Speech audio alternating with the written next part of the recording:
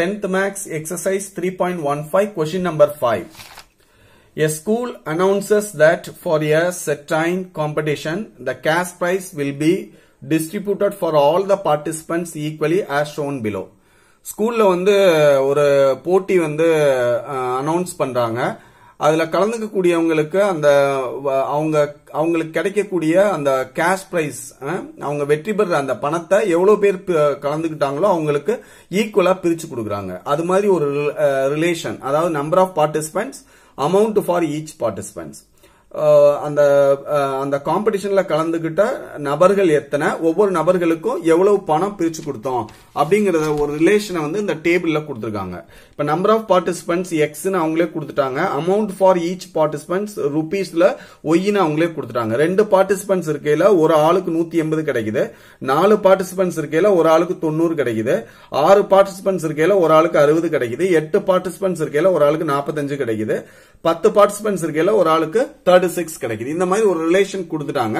கொடுத்துட்டு இதுல என்ன ஃபைண்ட் அவுட் பண்ண சொன்னாங்கன்னா இது வந்து என்ன மாதிரி கான்ஸ்டன்ட் ஆஃப் வேரியேஷன் என்ன என்ன மாதிரி வேரியேஷன் அப்படின்னு முதல்ல நம்ம ப்ரூவ் பண்ணிருந்தோம் அதுக்கப்புறம் வந்து graph the about data and hence find how much will each participants get if the number of participants are twelve இந்த டேட்டாவை வச்சு கிராஃபை வரைஞ்சிட்டு பன்னெண்டு பேர் கலந்துக்கிட்டாங்கன்னா ஒரு ஆளுக்கு எவ்வளவு அமௌண்ட் கிடைக்கும்? அதாவது எக்ஸ் வேல்யூ வந்து பன்னெண்டுன்னு கொடுத்துட்டாங்க ஒய்யோட வேல்யூ எவ்வளவு அப்படின்னு கண்டுபிடிக்க சொல்லியிருக்காங்க. இப்ப இங்க பார்த்தோம் அப்படின்னா நம்பர் ஆஃப் பார்ட்டிசிபென்ட்ஸ் இன்க்ரீஸ் ஆகிட்டே போறாங்க. ரெண்டு நாலு ஆறு எட்டு பத்துன்னு. அப்ப அமௌண்ட் பாத்தீங்கன்னா one eighty ninety sixty forty five thirty சிக்ஸ்னு அமௌண்ட் வந்து குறைஞ்சிட்டே வருது. அப்ப வந்து எக்ஸ் வேல்யூ கூட்டிகிட்டே போகும்போது ஒய் வேல்யூ வந்து குறைஞ்சிட்டே வருது. Hence X increases Y decreases so இது வந்து it is indirect variation if it is indirect variation X into Y equal to K K value கண்டுபிடிக்கணும்னா அந்த எக்ஸ் வேல்யூவையும் ஒய் வேல்யூவையும் மல்டிப்ளை பண்ணும். So two into eighty one eighty four into ninety equal to six into sixty equal to eighteen forty five அதாவது இது எல்லாத்தையும் பெருக்கணும்னா எல்லா வேல்யூவும் த்ரீ சிக்ஸ்டிக்கு சமமா இருக்கும். அப்ப K equal to three sixty இதுதான் ஃபர்ஸ்ட் கேட்டிருக்காங்க. Find the constant of variation constant of வேரியேஷன்ங்கிறது K அந்த கேயோட வேல்யூ வந்து three sixty constant of variation வந்து த்ரீ சிக்ஸ்டி அதை ஃபைண்ட் அவுட் பண்ணியாச்சு. ரெண்டாவது கொஸ்டின் வந்து முதல்ல நம்ம இந்த டேட்டாவை வச்சு நம்ம பிளாட் பண்ணிக்கணும். பிளாட் பண்ணும்போது பார்த்தீங்கன்னா எக்ஸ் வந்து மேக்சிமம் டென் இருக்கு. அதனால வந்து நம்ம எக்ஸ் யூனிட்டை ஒன் ஒன்னா எடுத்துட்டுலாம். ஒய் பார்த்தீங்கன்னா மேக்ஸிமம் ஒன் எயிட்டி இருக்கு. அது வந்து ரொம்ப டிஃபிகல்ட்டு அதனால வந்து நம்ம டென் டென்னாக எடுத்துக்க போகிறோம் ஸோ வந்து இப்போ என்ன பண்ணிக்கிறோம்? எக்ஸ் ஆக்சிஸில் வந்து பார்ட்டிசிபென்ட்ஸ் எழுதி எழுதிக்கணும். எக்ஸ் ஆக்சிஸில் வந்து number of number of participants Y ஆக்சிஸ்ல வந்து அமௌண்ட்னு எழுதிக்கணும். ஒய் ஆக்சிஸ்ல வந்து அமௌண்ட் இன் ருபீஸ்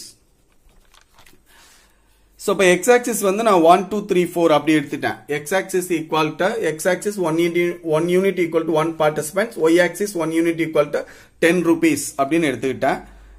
ஸோ வந்து ஒன் டூ த்ரீ ஃபோர்னு எக்ஸ் ஆக்சிஸில் அப் டு ஃபோர்டீன் வரைக்கும் எடுத்துட்டேன். அதே மாதிரி ஒய் ஆக்சிஸ் பார்த்தீங்கன்னா டென் டுவெண்ட்டி தேர்ட்டி ஃபார்ட்டி அப்படியே வந்து மேக்ஸிமம் நான் எது வரைக்கும் எடுத்திருக்கேன் அப்படின்னா டூ தேர்ட்டி வரைக்கும் நான் பிளாட் பண்ணிக்கிட்டேன். பிளாட் பண்ணிட்டு இப்போ இந்த பாயிண்ட்ஸ் அதாவது ஃபர்ஸ்ட் வந்து எக்ஸ் அப்புறம் Y two comma one eighty four comma ninety six comma sixty இப்படி எல்லா பாயிண்ட்ஸையும் வந்து நம்ம பிளாட் பண்ணணும். இப்போ ஃபர்ஸ்ட் பாயிண்ட் பாத்தீங்கன்னா எக்ஸோட வேல்யூ எக்ஸோட வேல்யூ வந்து டூ எக்ஸோட வேல்யூ டூ இருக்கையில ஒய்யோட வேல்யூ வந்து ஒன் எயிட்டி எக்ஸ் வேல்யூ வந்து டூ இருக்கையில ஒய்யோட வேல்யூ ஒன் எயிட்டி அப்ப இதுதான் டூ கமா ஒன் எயிட்டி இதே மாதிரி எல்லா பாயிண்ட்ஸையும் அடுத்த பாயிண்ட் வந்து ஃபோர் கமா நைன்டி அதுக்கடுத்து சிக்ஸ் கமா சிக்ஸ்டி அதுக்கடுத்து எயிட் கமா ஃபார்ட்டி ஃபைவ் அதுக்கப்புறம் டென் கமா தேர்ட்டி சிக்ஸ் இந்த மாதிரி வந்து இந்த டேபிளில் உள்ள எல்லா வேல்யூஸையும் வந்து நம்ம பிளாட் பண்ணிட்டு அந்த கிராஃபை வந்து அப்படியே வந்து நம்ம ஜாயின் பண்ணி அப்படியே வரைஞ்சிரும். இப்படி வரைஞ்சாச்சு நம்ம. கொஞ்சம் கிராஃபை கொஞ்சம் கூட எக்ஸ்டெண்ட் பண்ணி விட்டுக்கணும். எக்ஸ்டெண்ட் பண்ணிட்டு இப்போ என்ன கேட்டிருக்காங்கன்னா இங்க சமுக்குவாங்க எக்ஸ் வந்து டுவெல் இருக்கையில ஒய்யோட வேல்யூ என்ன அப்படின்னு கேட்குறாங்க எக்ஸ் டுவெல் இருக்கும்போது. இப்போ நீங்க இந்த கிராஃப் அப்படி நீட்டி விட்டுருங்க. நீட்டி விட்டுட்டு இதுதான் டுவெல் எக்ஸோட வேல்யூ டுவெல் இருக்கையில அது ஒய்யில எங்க போய் மீட் பண்ணுதுன்னு பாத்தீங்கன்னா தேர்ட்டில போய் மீட் பண்ணுது. எக்ஸ் வேல்யூ டுவெல் இருக்கையில அந்த கிராஃப் இந்த இந்த கர்வ் வந்து எந்த இடத்துல டச் ஆகுது அப்படிங்கறத அப்படி நீட்டி விட்டோம்னா தேர்ட்டில டச் ஆகுது. அப்போ வந்து எக்ஸ் வேல்யூ டுவெல் இருக்கையில ஒய்யோட வேல்யூ தேர்ட்டி ஸோ அப்போ எக்ஸ் வேல்யூ டுவெல் இருக்கையில ஒய்யோட வேல்யூ தேர்ட்டி டுவெல் பார்ட்டிசிபென்ட்ஸ் வந்தாங்கன்னா ஒரு ஆளுக்கு தேர்ட்டி ருபீஸ் கிடைக்கும் அப்படின்னு கண்டுபிடிச்சாச்சு. அவ்வளவுதான் இந்த சம்